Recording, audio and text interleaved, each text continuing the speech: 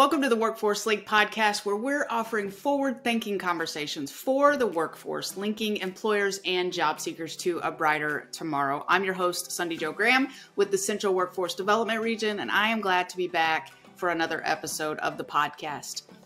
So here's a question Is it really okay to ask for accommodations at work? When it comes to uh, function challenges like ADHD, which actually is recognized as a disability under the Americans with Disability Act. And, and as an employer, how do you address those concerns? That is what we are going to talk about on today's episode of the Workforce Link podcast. We're going to explore various ways which employers can provide reasonable accommodations to support their team members. And we're going to do that with today's guest, Michelle Raz. Michelle is a career specialist and coach. She's the owner of razcoaching.com. She's the author of Happiness plus Passion plus Purpose. Love that title. And she is the co founder of Thrivister.com, which is an academic coaching company for high school and college students. As a board certified coach, she uses her expertise with executive functioning challenges to help people find their purpose and success in the workplace through the lens of ADHD. And so we're also going to cover why it's essential to establish an open and non judgmental line of communication between employers and team members. So, whether you're an employer looking to make adjustments to better support your staff, or you're an employee seeking guidance on how to communicate your needs effectively, this episode is for you. Before we do that, though, I want to invite you to subscribe to the Workforce Link podcast so that you can be notified as soon as a new episode pops up. And if you haven't already, please leave us a review. Let us know what you enjoy about the show, and we would be super grateful. All right, now let's dive into today's episode on navigating disability accommodations in the workplace with our guest, Michelle Raz. All right, Michelle, thanks for being here today. We're honored to have you on the podcast. Looking forward to having a, a great conversation with you today. Thank you so much for having me here. Um, so I found an article um, about a month or so ago called um, Disability Accommodations That Employers Can Easily Act On to Retain Employees. And as I was reading through it, I just, I loved it because it's so simple yet profound. And so I am excited to have a conversation with you today on uh, how we can speak to employers, but also how we can speak to those team members as well who um, may be struggling with some type of, of disability. Uh, so looking forward to, to diving in with you today. Yes, absolutely. It's uh, we can really go down some different avenues with this. Right. So, so tell me a little bit about you, um, what you do, how you got started in this, and um, just take it away. Yeah. Okay. Well, thank you. Uh, so, I've been in the field of um, working with students and uh, executives and uh, business owners, entrepreneurs for the last 15 years. And through that, um, I really began to recognize the need for um, specifically the workplace. And this is near and dear to my heart because my, my own father was an entrepreneur, um, big businessman in um, Portland, Oregon, growing up. He um, got into the field of um, tug and barge operations at, um, you know, in his early 30s, and it was a tough industry to break into. These companies had been in there for 100 years. So he was a bit of a maverick, hard um, person. Interpersonal skills were really difficult, but he had this drive, he had this talent, and, and people were amazed at his abilities. But there was a disconnect with his ability to interact, to retain his own employees. And throughout my life, I was able to observe this and formulate, you know, ideas of how things could be different.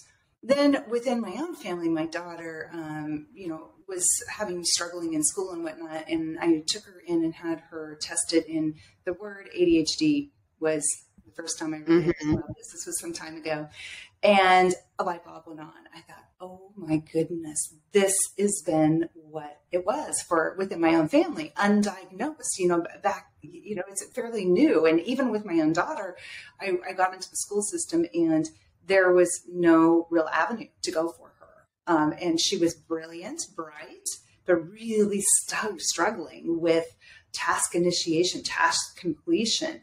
Um, she would understand concepts and follow through. Um, she was blurting out things and getting in trouble in the classroom. And that started my journey to help her. But then it began connecting the dots through the history of my own upbringing because it's you know passes down to the family.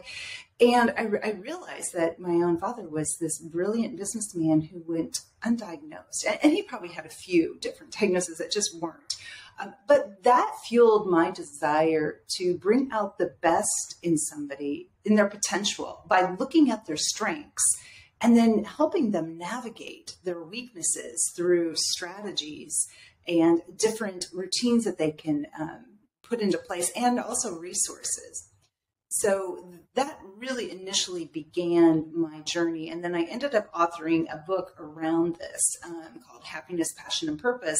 And the point of that book was being able to find your ideal career path based on your strengths, first of all, and your weaknesses, and looking for mm-hmm. solutions around those weaknesses. So, again, developing these strategies um, and resources for people to say, hey, you know what? You're an amazing person. Your your actual you know deficit is actually a gift for you because of your adaptations that you have made throughout your life to either mask it, cover right. it up, deal with it. And, and that means that you have worked somewhere else over in your life to develop something else that makes you really stand out.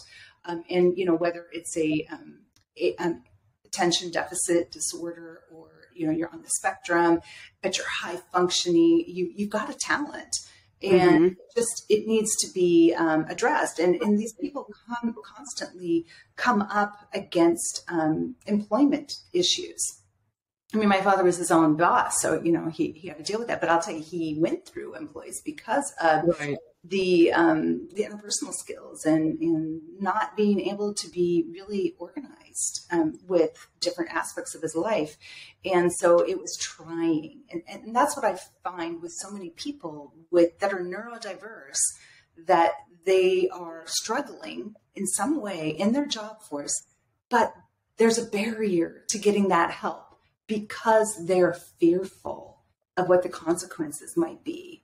Will they be judged differently?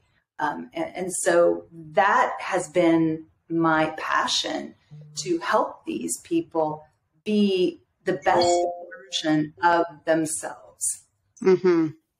I love that. And you know, you talk about the the strengths and the weaknesses, and sometimes I think we we always not always we can get this idea that weaknesses are just bad and that's not necessarily the case they're just not our our strongest point but having somebody help us recognize how we can grow in that weakness i think is is huge and i think a lot of times we we kind of skip over that and and miss that point. and we ask that in an interview what are your what are your three strengths what are your three weaknesses which are important questions but sometimes that also puts us in a box yes exactly and so what are the repercussions of that coming forward. And, and this is where I would like it to change in the workforce. Um, and I, I, will say this it has changed. It, it, or I should say, it is changing. Mm-hmm. It's evolving since when I first started out with this. Um, it, people are receptive, they understand. It, has been really helpful for people that have had challenges come up and you're in sharing their successes with other people so that employers are embracing it. You know, it's really wonderful to see this um, neurodiversity, DEIB, you know, and I really focus in on the inclusiveness and the belonging of my clients in the workforce.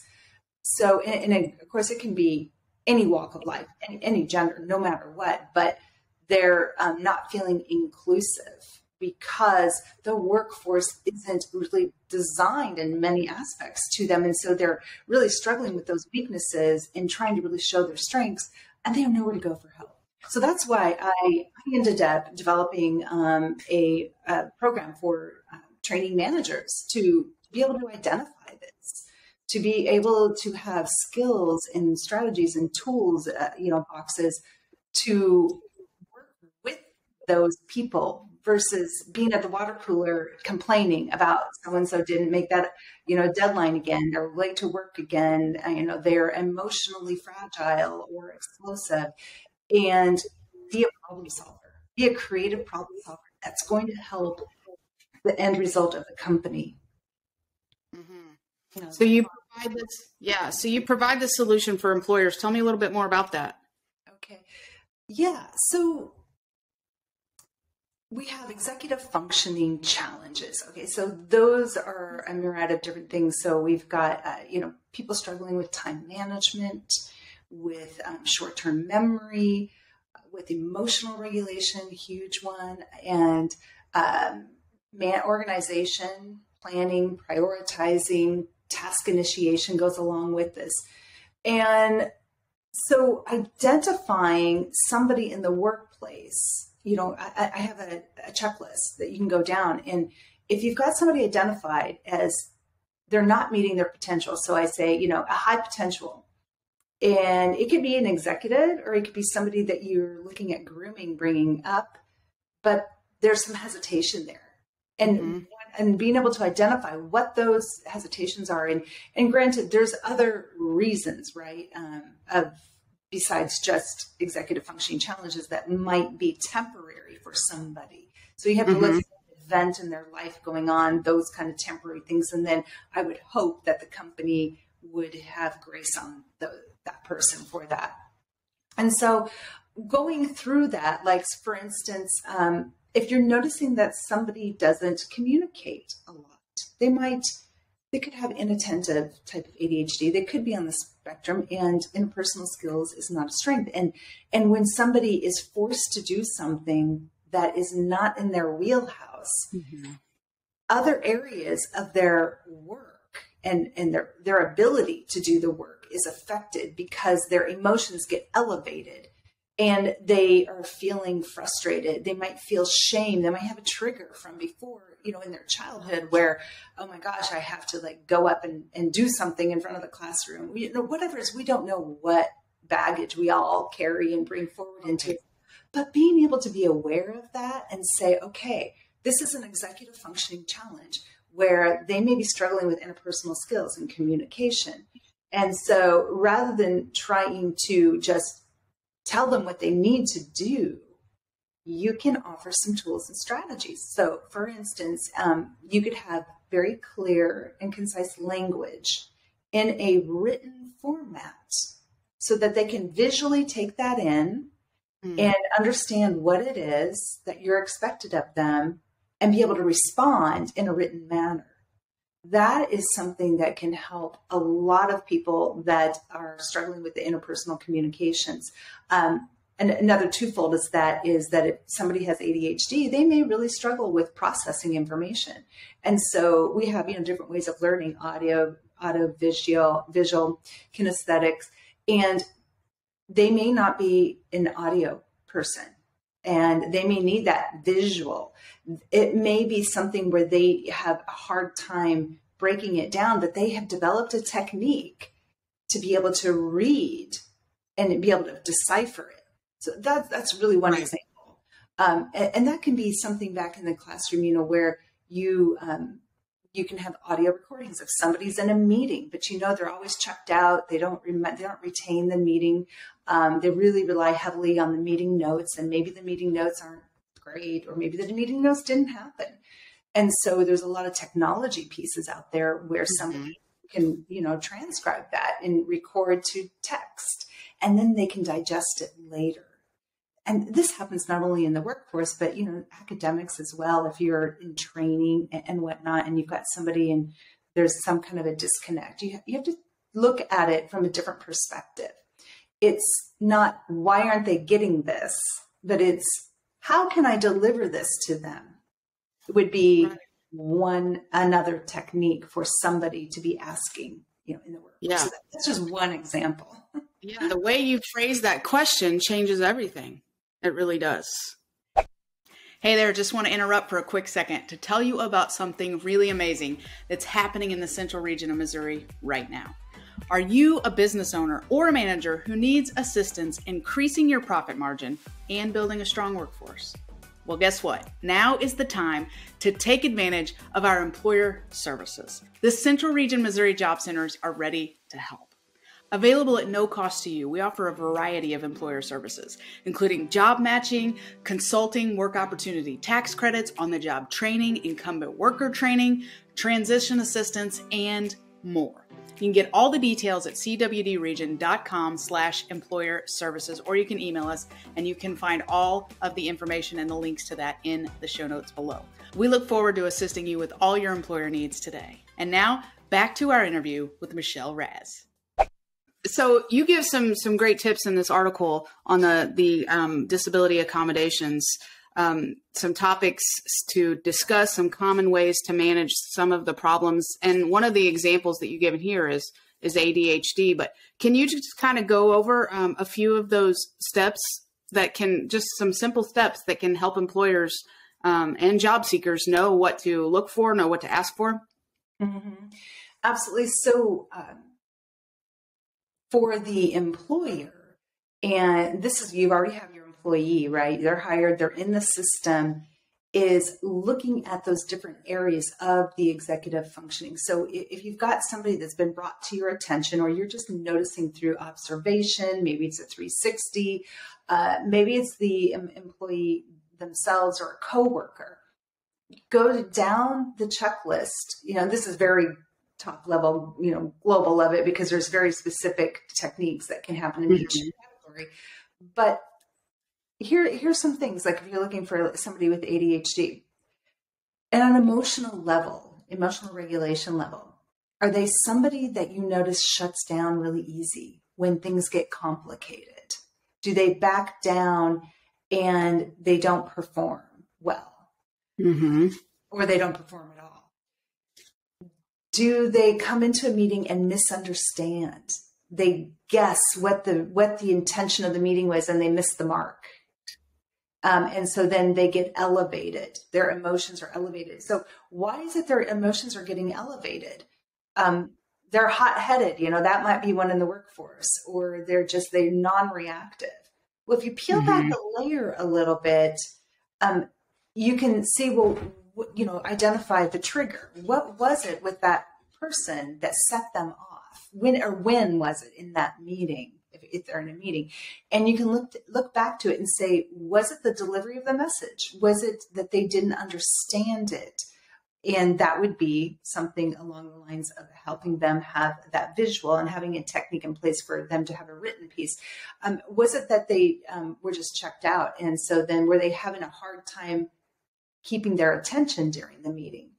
And and so if, if it's a focus issue like an adhd focus issue um, there's there's some little techniques that you can use. And um, you know we we talk about stress balls and things like that for um, students in classrooms. This is a really good not only stress ball but what it can do is take your mind if you're in a meeting and and you have something in your hand that you can be focused on it takes a distraction away from your mind wandering to give it something over here so that you can actually pay attention. So mm-hmm in the days when, you know, maybe when you were in school and you're in a meeting, you've got somebody with a pen, right? And they're just like this. It's so annoying, right? You're just it drives me nuts. they it's a tool and a technique to get that focus off of yeah. that energy so they can actually yeah. pay attention. But there's other techniques that people can use. Um, and uh, I, I, just did an article. I, I, didn't put it out there yet, but you know, one of there's this unscientific thing that you can do is chewing gum. So, like somebody that cannot focus and their mind is that, but you, there is something about chewing gum that takes the focus off of that so that you can actually get work done. It occupies mm-hmm. your mind in that direction so that you can get something done. Um, and, and so, those are just some fun, common little tricks that you can do. Um, so, that, that's in like an emotional regulation and, and just peeling back the layers of what it is that's really going on. Um, and so if the person feels um, heard by their employee that I'm, I'm noticing this about you, um, I have, you know, some thoughts of something that could help you. Um, and then having this, you know, go to, you know, like my toolbox of, you know, strategies for different scenarios that is, that can really help the employee. and, and there's a whole approach to it too. I have to back up because if you're a frustrated employer with the employee that is having the issue, you have to be very careful about the way you present it, right? Because mm-hmm. we don't want to be shaming them. Um, you know, uh, people know you, people don't leave jobs, right? They leave relationships in jobs. Mm-hmm. And so Absolutely. If. If they feel valued and, and they're recognized for their strengths and we all have flaws and weaknesses we can, you know, work on and you present it in that way where it's an, an encouraging, like, hey, you are, you know, amazing in that sales job. And I'm, I'm noticing though that, you know, the follow-ups that you're doing, um, you're, you're, um, you're behind and so, you know, what, what can I help you with? And so that is something that is really important to establish that trust, that mm-hmm. environment where people can feel safe to talk about their um, challenges. They need to be able to feel vulnerable, first of all, right? Right. yeah, absolutely. Yeah, and, that's the thing that when when individual clients come to me, because I've, I've worked one on one many many years, and I still do. That's the number one thing is they don't have a safe place to go and be vulnerable with, but they can mm-hmm. with me. And and so, um, or any kind of coach in an industry, you know, that is supporting an employer. That's another valuable tool for a company to use, is that um, support that you have. Mm-hmm. And, and honestly, um, you know, there's differences between internal type coaching and external, but if you can do an inclusive environment as a company and, and have that theme, which again, we're making progress towards that, then they, they're feeling safe to come to you. There's a lot of companies will have neurodiverse groups and then you, you and it's completely on their own through the company um, and then there's people that they can network to bring people in to help these um, employees with different strategies and tools. And so I've, I've, worked in that capacity as well. So, so anyway, number one, going back, if that safe environment is there and you're recognizing something, mm-hmm. There is these different tools that you can use. And so, for instance, you've got somebody that's late all the time. You know, their their time management issues. It's it's not like they don't care about the job, and and they might you might have an attitude. Oh, they're nonchalant. They just get there when they get there. But again, peel back that layer and say, how can we help you get to work on time? But we, you know, we really value you when you're on time. And I notice that you're really present when you're on time and you contribute a lot to the meetings. I notice that when you're late, it takes you a while to be able to focus in on the work. And how does that make you feel? you know, in, in the workplace. And, and most of the times, if you have a safe environment, they're going to say, well, I come in flustered, hot. I, I don't have, um, you know, my brain capacity is not there. And so you can start to say, well, you know, here's some techniques you can do for time management.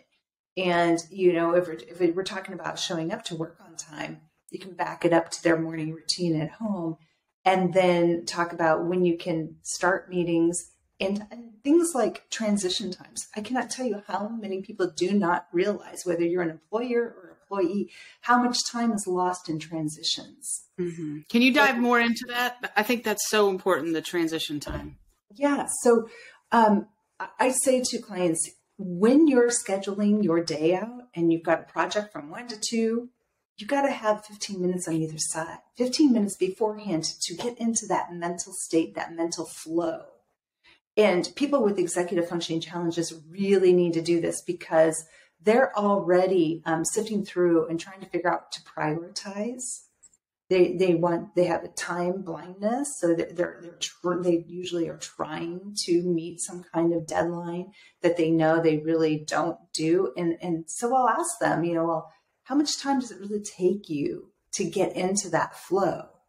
Um, mm-hmm. And sometimes they'll say, well, I can't get into the flow, but they've never allowed that transition time. They've never allowed them to come up with their own ritual for going into a task. And, and I would say that for an employer, like if you're working on a team project and you, you have a role of this employee to be, you know, the leader of it, or they're contributing some kind of material, um, prepping ahead of time and giving them the steps ahead of time of what what you need to do to be before you get to that meeting so that they are somewhat forced to look mm-hmm. at your notes, review it, sit down. I personally will will tell you know work one on one with them and say, um, take some deep breaths, sit, down and pause and just look at what you're going to be doing, look at what you want to accomplish and what the plan is in that particular meeting, and then relax, get get that cup of coffee, water, whatever it is, but give yourself enough time so that you can be present and mm-hmm. listening and, mm-hmm. and, gather what you need because a, a lot of the clients that I work with, their mind is racing and they need to kind of let go of that chatter and have that mm-hmm. calming effect before you go into a project. Um, and I'm sure you you've done this, and we we all do this, right? Where we we overschedule ourselves, so we come in hot, as I say, mm-hmm. and, and, you're just reeling. You're you know you're, you're trying to get traction, and then there's other days where you float and noticing what the difference is in your mental capacity and the mental energy that you you took. So you might say, well, I don't have 15 minutes. Well, okay, maybe even five minutes. But noticing and becoming aware of when you take that time for a transition in between, what the productivity is on the mm-hmm. outside.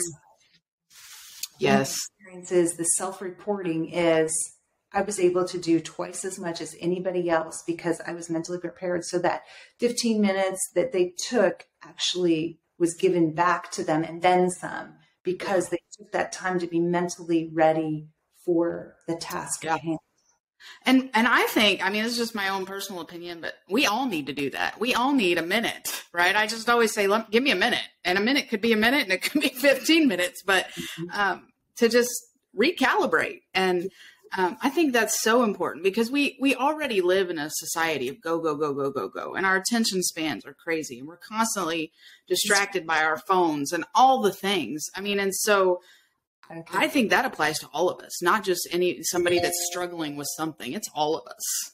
Absolutely. So I, I love this um, analogy I had, and I, I mentioned this just recently. So the neurodiverse person, right, is has extreme highs and extreme lows of their abilities and whatnot. But does it mean that we we don't? Everybody doesn't. So right. depending on life events, they might be up or down. But the difference is with you know a neurodiverse um, person is that it's it's more accentuated. So we can all benefit from these. Um, here, here's a perfect example, and I know everybody can relate to this. Um, employers, employees, is you've booked your day out, and you don't have the transitions, and you you fail at the end of the day because you're like, oh, I'll, I'll take notes or I'll document that afterwards. And then your day goes on, you get to the evening and you're tired, you're spent because you've just gone back to back to back to back and you haven't given yourself a break. And then you forget to do the notes. Or you get, so you go, I'll do it next morning, my mind is fresh. And then you forgot. What, yeah, what yeah. What happened I'm so guilty. I, I am too, you know, but when I enact the buffer zones yes. and I'm consciously saying, do not end a meeting and then go straight into another meeting. And when that happens and you build that buffers in, you are so much more productive and the quality of your work is better. Um, but we are in a hurried world, right? Meeting yes. meeting. And, and now we're, we can do it, you know, remotely. So we're in our homes and there's no transition time. There's no water cooler talk. So we can just go from task to task all day long or get distracted, you know, on the internet or, or whatnot. So um, that I think is a really important piece to recognize, Absolutely. not only for the um, employee but the employers too. Is that when you're asking these people to do these different things, that you've got to accommodate them for whatever transition that they need, and especially if you're noticing um, that they, you know, are a neurodiverse person, it's even more mm-hmm. so because it takes a little bit more effort to get what they need um, done. Mm-hmm. And I really recommend a ritual this can be training your brain that when I um, sit down, I take a long breath. I, I, you know, take have you know your favorite cup of tea, coffee, whatever it is. That in your brain, that's okay. I'm ready. You know, review something ahead of time. Um, yeah. And easier said than done, and I know it. So this is where I go into the planners. Okay, so what does your employees' planners look I was just getting ready to bring that planner up. I um I am a huge advocate of the full focus planner. I don't know if you've heard of it or not with Michael Hyatt. I swear it's like my second brain, but you mentioned ritual and that's what made me say it because there's a place in here Um, and I just started a new quarter, so I don't have mine filled out yet. But there's a place in here where you can actually put your daily ritual. Like, what are your startup activities? What are your ending activities? And um, it's so helpful. It really is. It, it, it absolutely is, and it's so individualized. So this is another piece about my you know program and training program is that we really need to be customized and individualized for the different type of person. And, and even though you can have the same tool for everybody, but the ritual piece is like that my ritual and your ritual is going to look completely right. different. Right. Um, if if um, you know somebody gets up and they just get going and they don't take that time to quiet their mind, meditation, whatever tool they need to quiet their mind in the morning to just start the day intentionally. Um, and you're just, you go through that day for me reacting to everything. Oh, absolutely. Yeah. Versus being proactive and taking charge. Like, I own this day, I charge this day. Yeah. And so I think you can have a ritual not only at home, but in the workplace. Mm-hmm. So some you know what what is your ritual? Is it coming in if you if you're somebody that's really struggling with organization um, and you you schedule time in um, that the first thing you do is desk desk organized. The things from yesterday put away. You know what, what you're working on today in front of you. And by cl- having that ritual that may very well turn into being that's what st- um, starts my day and gives me motivation to get the tasks done by creating that clean space to start from. Yeah. Um, and, and a lot of people that have a, large, a hard time with you know the stacks of papers and, and things in the organizational piece, they really need some accountability around that because mm-hmm. it doesn't come easy. We all know we should do these things. Right when we're speeding around, we don't have transition times, we don't have rituals that get us, you know, in that perfect workflow, our productivity goes down. You know, are you going through your desk searching for things that you know are there? Um, and but if you had it organized in a place, that piece would be much easier for you to do. And and so um, I, I do I, I the managers would behoove themselves to have these accountabilities. So going back to these executive functioning challenges, you know, whether it's emotional regulation, you know, we just, we just talked about um, organization and now in time management and planners is, are they doing it? Are they using the tools and tricks and strategies that you've learned to deal with them? And they need that accountability. Of course, you know th- that takes a whole different approach which I, I do in my training is how to get them to be accountable and want to be accountable in a positive way not because they're going to get fired that's like the right. worst you can do because it just starts this downward spiral right. but again creating a safe and, and positive environment um, will help this and let me give you a story, a real quick story. So I had a client, and he was IT guy, brilliant guy.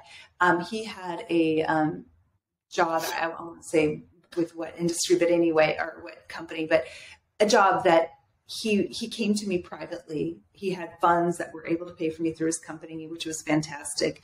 Um, and he was fearful he was going to lose his job. Constantly being um, reprimanded for um, missing missing little things here and there, um, showing up late, and he was in a real negative downward spiral, feeling very shameful, feeling inadequate. And he was a high level IT person. And we were looking through and deciding, well, you know, do you do you want to stay here or do you want to leave the job? And he would have stayed if he felt safe to get the help. And um, kudos for what he was doing well mm-hmm. versus everything he wasn't doing well. And in the end, we had to identify what he wanted in an employer and it didn't match what the company culture was. And so he, I helped him be look for a new job. Mm-hmm. And I'm going to tell you the success story. It took about a year. He not only doubled his income, but he is in a workplace that values the culture, that values positive reinforcement.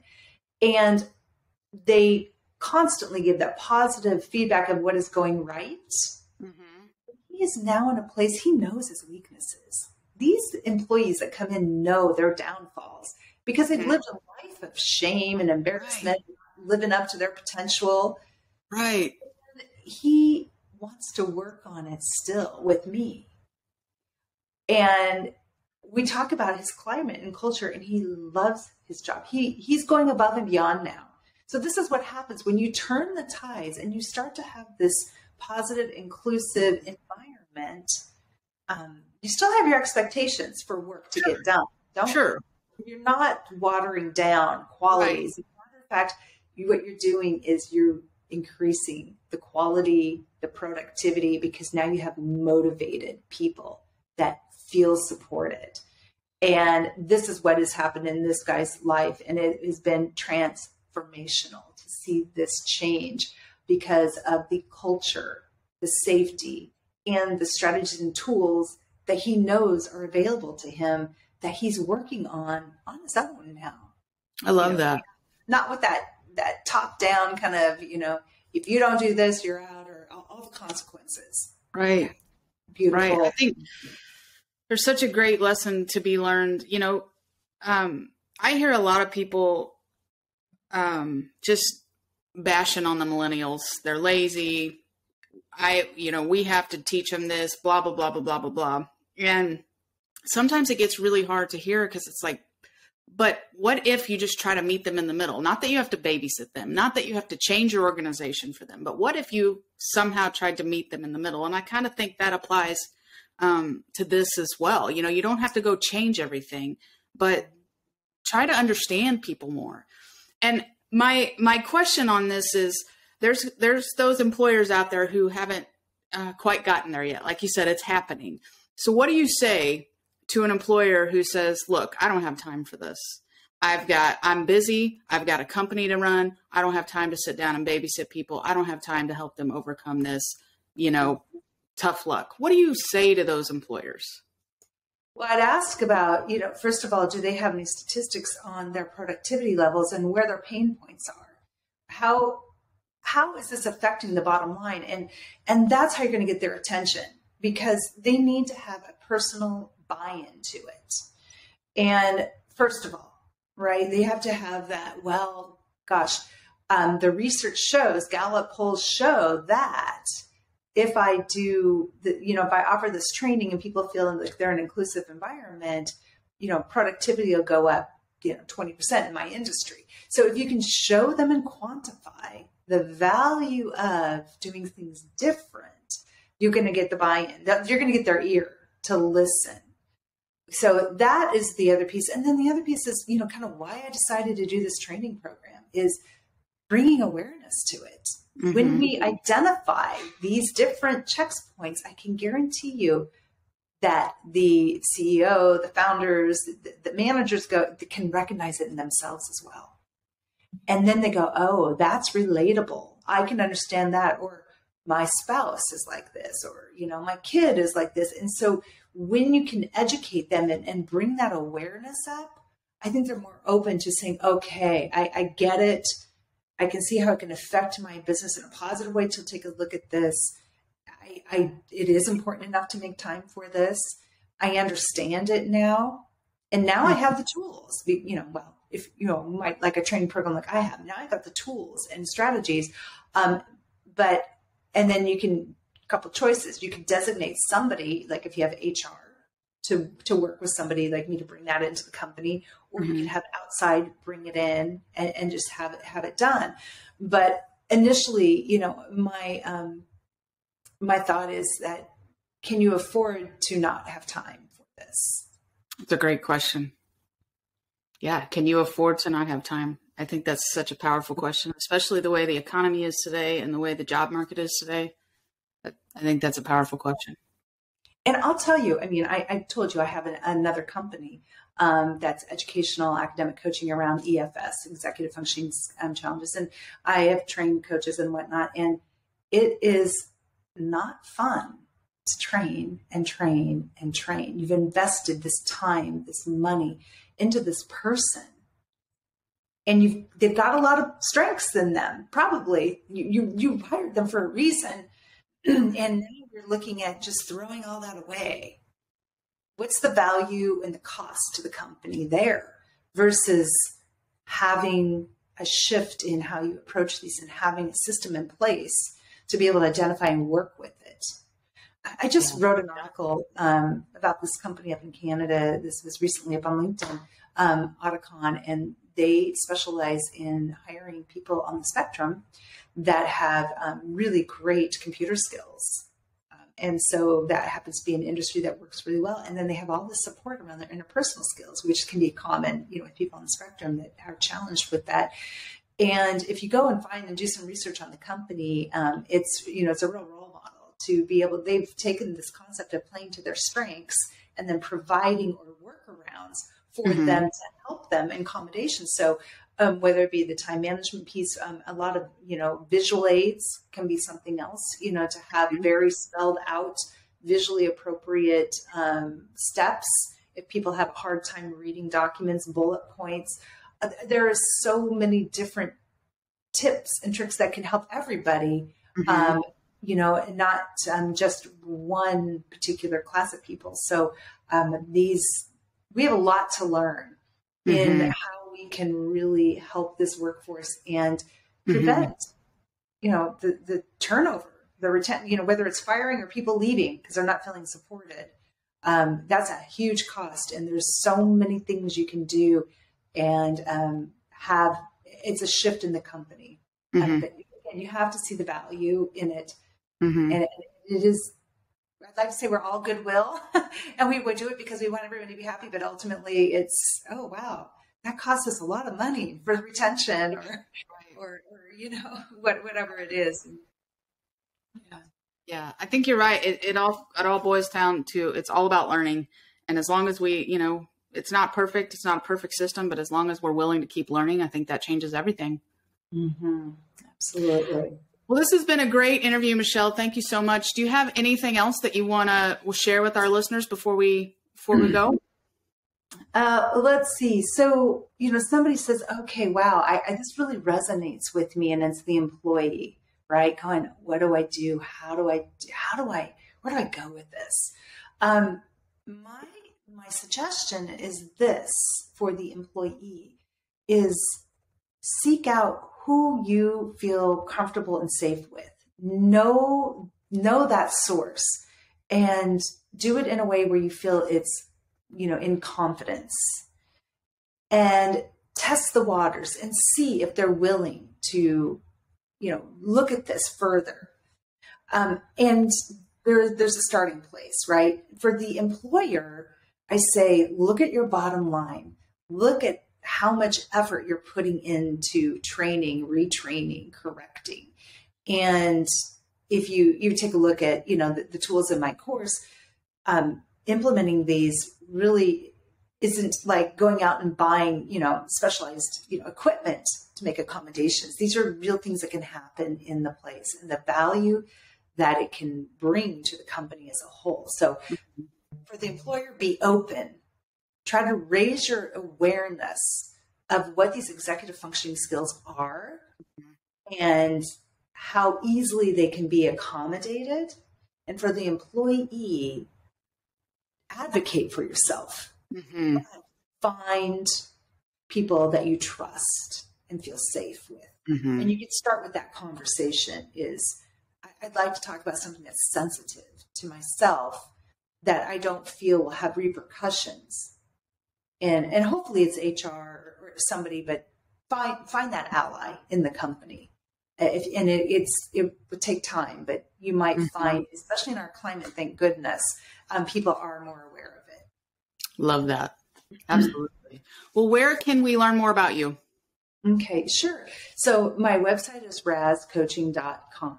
And um, if anyone you know was interested in the training program, I do like a free discovery call, you know, or email me. But um, yeah, Michelle at razcoaching, razcoaching.com um, is that. And then of course, um, I know there's going to be people going, oh my gosh, my child has this and executive, they're in college and whatnot. And so if anybody's kind of interested in what that looks like, you can go to thrivister.com. Um, okay. And that is my full blown um, academic coaching around executive functioning challenges. Um, okay. And then, you know, on a closing note, this is all well said and done. And I'm going to say this with what I do in Raz coaching and what I do, you know, in Thrivister. but the proof is in the accountability. Mm. So if you're going to do anything on your your own, the do-it-yourselfers, make sure you have an accountability plan. And and I mean that in a positive way. Action right. Is what I call it an action plan. So we have an academic action plan, we have a work employee action plan, and the people are involved in that. They need to be involved. This is not here's your action plan, go do these things mm-hmm. with that It's a collaboration. And yes, the millennials like to collaborate. Um, you know, it, it, that was the education that they received. You know, right. they didn't have desks and rows. It was it was all collaboration. Right. And the thing is, is that the creativity that comes out of that is immense. This is a whole nother subject, but um, but do collaborate and involve them in the process. Mm-hmm. Yeah. Well, I think that sums it up well. The proof is in the accountability. I think that is a great way to sum it up. And we will share all the links uh, in the show notes for um, your websites so they, that people can have access to that. Thank you so much for being with us today, Michelle. I really appreciate it. I feel like there's some definitely some things that I need to process uh, through this as well, just how and how I can be more productive. So thank you so much for uh, spending time with us today. Well, thank you for letting me share. You know, what I do is it's my life, my passion. I hope you enjoyed that interview as much as I did. And remember to encourage your team to identify reasonable accommodations without feeling afraid to do so. A happy team makes a happy company. And you can learn more again about Michelle at razcoaching.com. And again, I will share the link to that in the show notes below. And if you've enjoyed today's episode, would you mind sharing it with somebody else that you think might benefit from it? We would be grateful. And don't forget to take advantage of all of our job center services available to you at no cost. You can find your nearest job center or affiliate site at cwdregion.com slash job centers. And again, we will share the link for you below. Have a great week, and we will meet again in the next episode. Until then, remember this there's always a brighter tomorrow if you're willing to find it. The Central Region Workforce Development Board Incorporated and COPIC are equal opportunity employers and programs. Auxiliary aids and services are available upon request to individuals with disabilities. Missouri Relay Services at 711.